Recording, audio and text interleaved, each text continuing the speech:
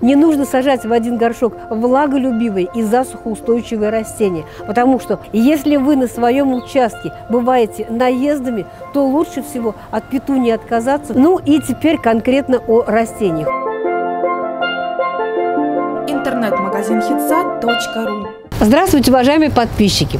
Вертикальное озеленение не сдает своих позиций по популярности, а самый простой способ вертикального озеленения – это посадить красивые цветы в подвесные горшки. Но не все даже ампельные растения подойдут для посадки в подвесные горшки. Что же в них можно посадить? Но сначала о самих горшках. Главное в подвесном горшке – это крепление – чем больше горшок, тем больше будет его вес. Сюда мы насыпем земли, сюда мы посадим цветы, мы это будем поливать, и все вот это должно хорошо удерживаться на конструкции. Если вы видите большой горшок на пластмассовой конструкции, лучше от такой покупки отказаться и отдать предпочтение большому горшку на цепях.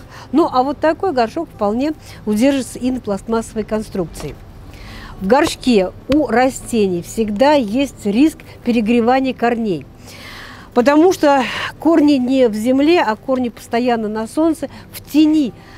Горшечные растения практически не цветут – Поэтому выбирайте горшки с толстыми стенками, в них корни меньше перегреваются. Выбирайте горшки светлых тонов, в них меньше перегреваются корни. И сейчас есть такие горшки, но они как бы двойные по типу горшок в горшок. Вот в тех горшках корни еще меньше перегреваются.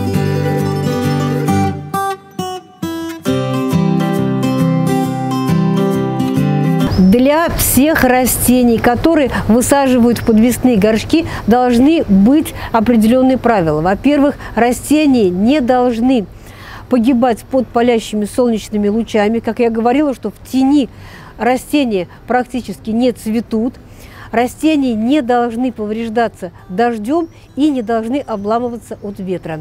Растения, которые вы посадите в подвесные горшки, должны обильно цвести с июня и до заморозков.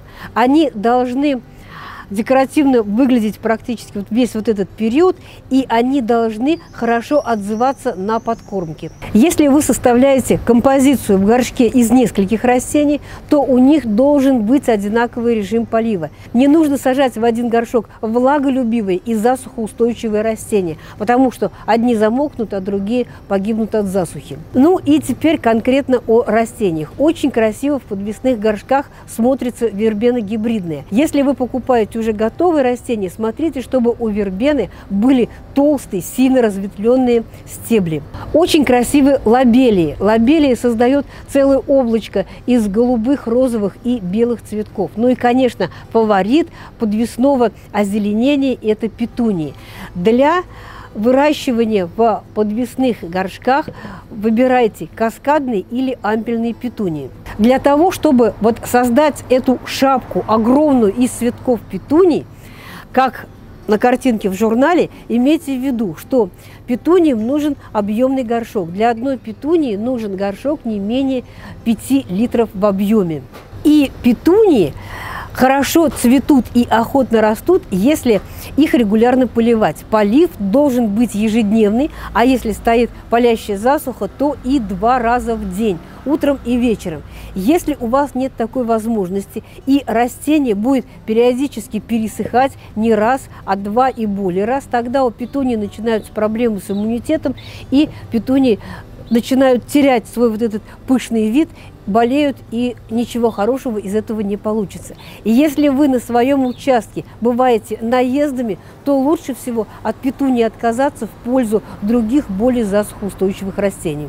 Для того, чтобы заставить петунию цвести как можно дольше, не нужно давать ей завязывать семена. Отцветшие соцветия нужно обрывать. Но многие просто вот так вот обрывают цветок, и все. А семена-то образуются вот здесь. Обрывать нужно не просто вот эту вот э, чашечку цветка, а обрывать нужно вместе с семенной коробочкой, то есть обрывать нужно всю вот эту часть. Вот, вот эти вот все части завяжут семена, а если у растения завязали семена, то нет больше смысла цвести дальше. Очень красиво бакопа.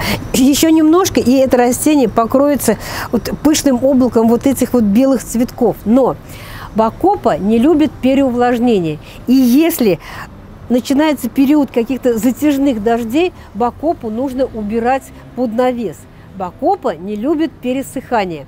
От этого она гибнет и также плохо растет. Если вы готовы ухаживать за таким растением, как бакопа, постоянно, тогда смело берите, и вы получите эффектную композицию в горшке.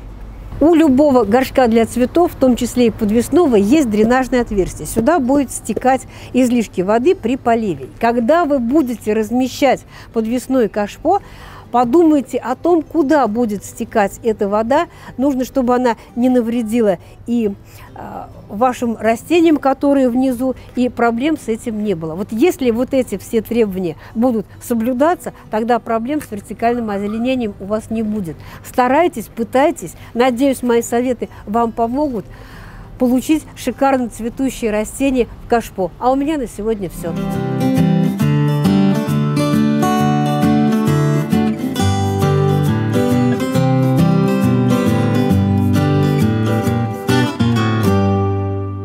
hitsat.ru